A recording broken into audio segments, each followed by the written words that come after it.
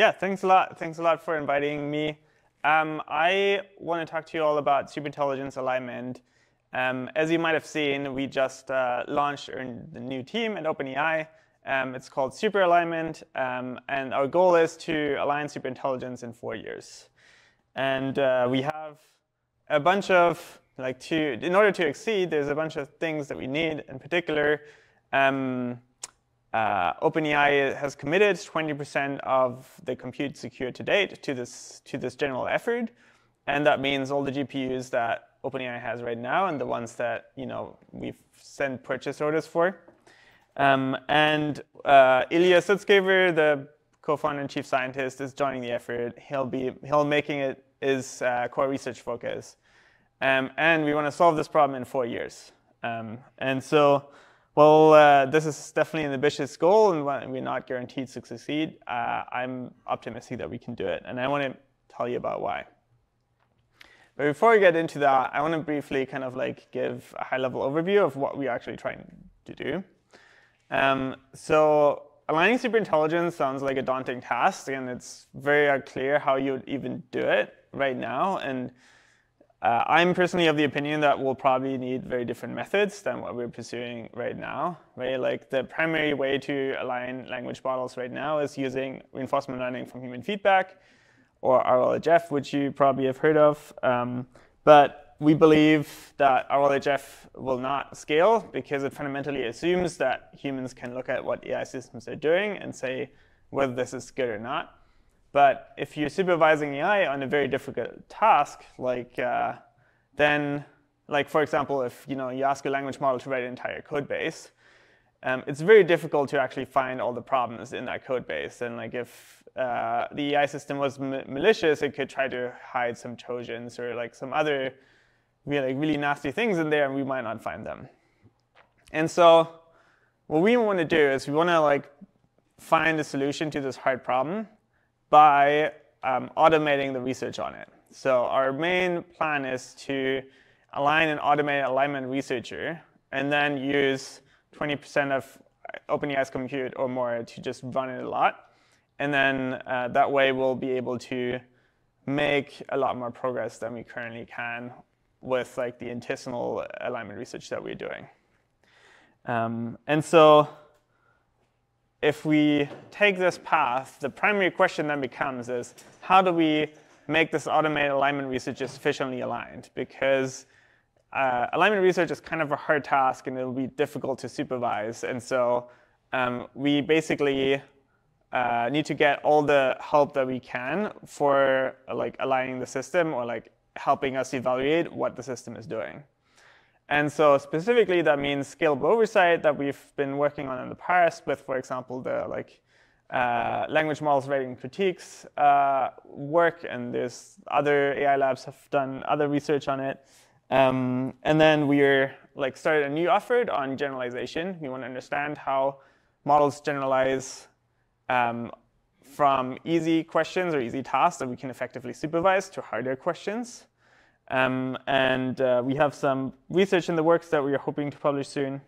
And then additionally, we kind of like have to answer this question of like, if we manage to train a really aligned system or like in a system that you know is aligned enough and roughly human level so you can do the automated alignment research roughly as well as we could. Um, how do we know that this is actually aligned? How do we gain confidence in its alignment? And so this is why we're looking at automated interpretability and like adversarial testing and so on. And so one, one particular thing we want to do is like train deliberately, like deceptively uh, misaligned models and then see if those models could pass our evals.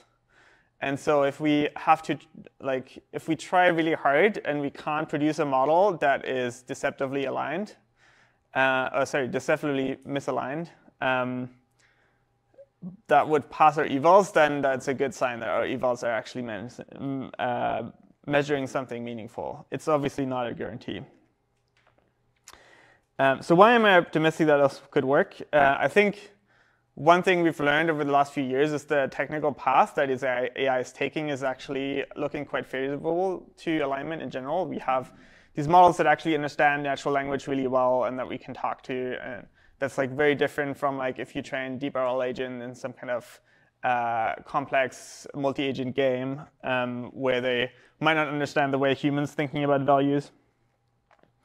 Um, in some ways, I think we have like a more modest goal, right? Like we're trying to align this roughly human level alignment researcher instead of you know, like aligning a system on all possible tasks or aligning something that's vastly smarter than us. Um, I think another thing that we're going to be leveraging a lot is this general principle that evaluation is easier than generation. So if I have to do the research myself, that's a lot of work.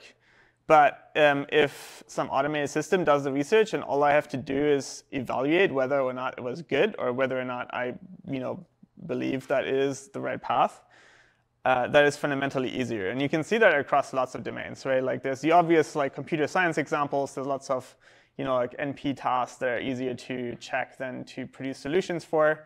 But also I think it just holds across many domains, right? Like if you're making a purchasing decision, it's like much easier to know like what is a good smartphone than it is to build a smartphone.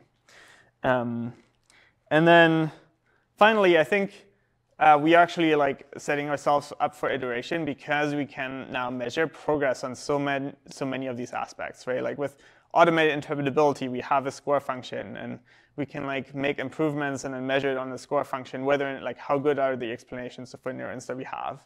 Or for scalable oversight, we can like produce subtly flawed answers to questions and then see whether uh, our human or like our AI assisted human can find the problems in that answer. Um, and so I'm not claiming that these metrics are going to be like actually get us all the way, but I think they will help us make meaningful local progress that then will, you know, uh, tell us where we need to go. Um, yeah, so I think overall, I'm really excited about this uh, approach. And um, if you want to learn more, please come talk to me about it later. Thank you. I think we probably have time for a question. Any oh. question, oh. comment? Yes, we have one already. Louis. Um, so, for your automated AI, thank you for your automated alignment research, you, I assume from what you said, you're envisioning uh, this kind of dealing with kind of all aspects of the kind of alignment research pipeline, so kind of conceptual, maybe theoretical stuff, empirical stuff. And so my question is, um, how far away do you think we are from being able to do that currently to the level that we could say replace the median AI safety researcher who's working on each of those kind of aspects of the of the research problem? Yeah, I think I mean, we've tried a lot with GPT-4, and honestly, it's not really good enough to contribute that much. Um, we've done a little bit of like scaling laws. My best guess is, is probably between GPT-5 and GPT-6 uh, is going to be where a lot of the action is. But uh, yeah, it remains to be seen. Cool, thanks. One thing that I totally forgot in Colleen's talk is that after each of your guys' talk, we're going to ask you to produce a challenge, like something that you want other people to solve, uh, because that will be the prompts from which we will generate working groups. Oh, so if you look at the people here in the room, like, uh, you know, how could they help, like, meaningfully to, like, you know, solve problems that you're interested in? Oh, I would be really interested in hearing what is like the biggest downside or the biggest risk with this plan. Why is it a bad plan? Love it. We do some red teaming here. Yeah, it's great. Okay, awesome. Well, thank you very much, Jan. Thank you. Wonderful.